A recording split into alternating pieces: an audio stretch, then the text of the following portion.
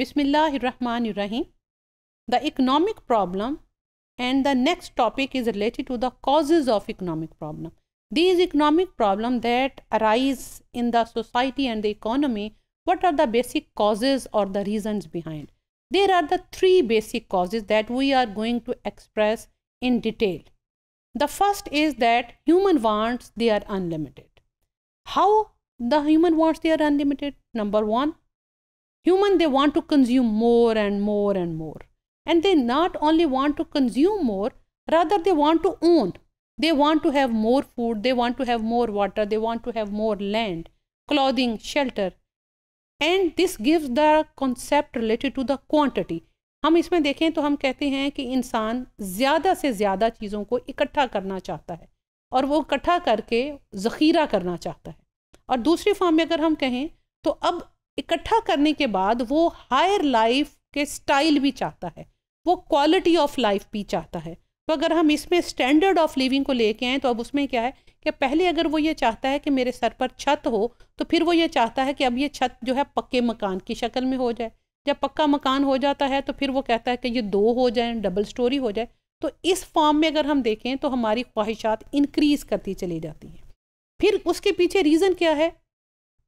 कि इंसान over the time either वो कंज्यूमर की फॉर्म में है या प्रोड्यूसर वो अपनी लाइफ में कंफर्ट चाहता है। तो ये कंफर्ट भी हमारे ह्यूमन वांट्स को इंक्रीज करते हैं। अब ह्यूमन वांट में अगर हम देखें, कहीं एक शख्स ये चाहता है कि उसको अल्लाह ताला सेहत दे तो वो पैदल चल के जा सके। तो लेकिन जब उसको कंफर्ट देखना है तो वो कहता है, मेरे पास साइकिल हो। साइकिल के बाद कहता है बाइक हो। बाइक के बाद कहता है, गाड़ी हो। तो कंफर्ट के लिए कुएँ से पानी भर के लाते थे तो बहुत खुश होते थे कि नदी से लाना पड़ता था।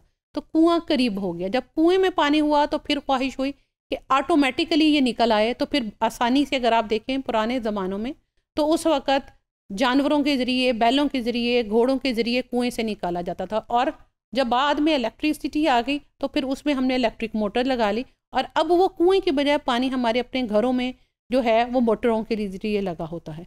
तो ये एक कंफर्ट की फॉर्म भी है, जिसके ज़रिए जो हम देखें तो हमारी ह्यूमन वांट्स बढ़ती चली जाती हैं। और अक्यूमिलेशन आज के लिए भी वो करना चाहता है, अपनी अगली नस्ल के लिए, अगले फ्यूचर के लिए।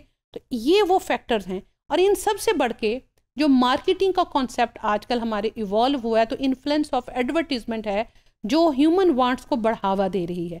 ह्यूमन वांट्स शायद उसकी ज़रूरत हो या ना हो, लेकिन under the influence of the advertisement we people they are going to spend and consume more and more now come the second that are the resources are limited अब ये रिसोर्सेज कौन कौन से हैं?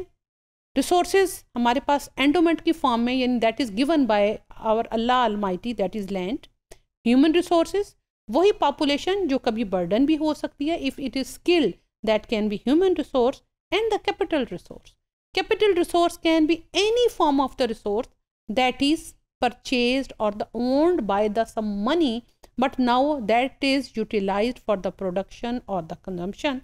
That are mostly machines that are mostly buildings that can be other resources either in the form of agriculture it become the uh, seed it can be the fertilizer and it in the form of the industry it can be the any type of the raw material that are um, chemicals that become the shape of the building.